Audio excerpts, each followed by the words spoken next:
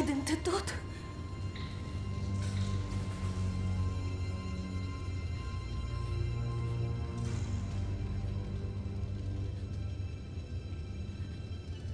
Айден!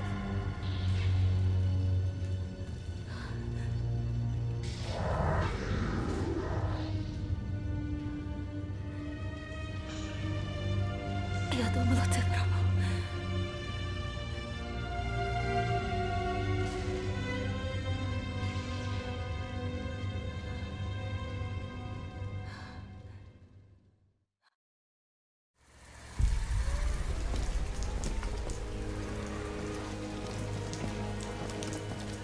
Джоди!